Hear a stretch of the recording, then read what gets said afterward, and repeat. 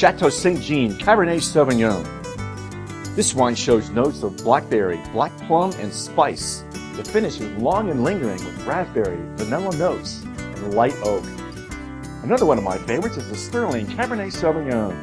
Savor the lush blackberry, cherry, and blackcurrant aromas, underlined with notes of vanilla and spice. For best results, enjoy these wines at stellar temperatures. Yes, give them a few minutes in the fridge to bring the temperature down. It really opens up those berry flavors. This time we're going to grill our burgers to your liking. We'll start our Mexicorn topping by adding our Mexicorn drained to a bowl. Next we're going to add some dried basil, but I found this pre-dried basil in the local Kroger store that had it in the produce department. And I've been using this and I love it, so we'll add some of this.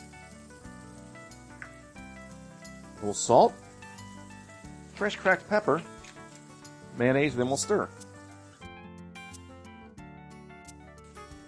We'll finish with our mayo and bring it together with a spoon.